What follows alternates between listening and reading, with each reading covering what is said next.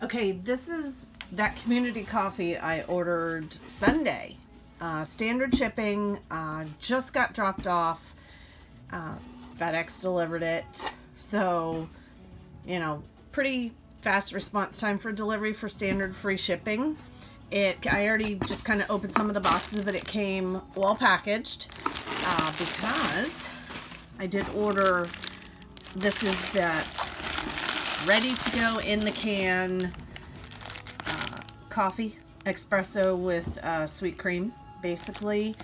And not a can of it is dented and I'm gonna say I'm just really excited that it actually came with a bonus of some giant bubble wrap. Y'all know what that means. Uh, in here is the other coffee that I ordered. So I have really giant 32 ounce bag of vanilla waffle cone.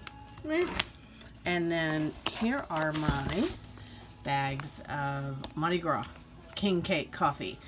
I've had community coffee, which is why I didn't, didn't hesitate to order from them online. So I'll give you guys a review of this later. So I'm, you know, so far happy. I mean, unfortunately it's Florida.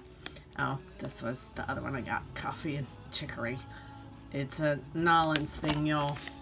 So, one, the only thing I can say, like I was going to say, it's Florida. My coffee's a little warm. So temp control, you know, it is what it is. Um, hopefully it hasn't degraded flavor, but I'll let you know. I can't wait to try this, but I just opened some other coffee, so it'll probably take me about a week to get to this. So I'll let you know what it tastes like.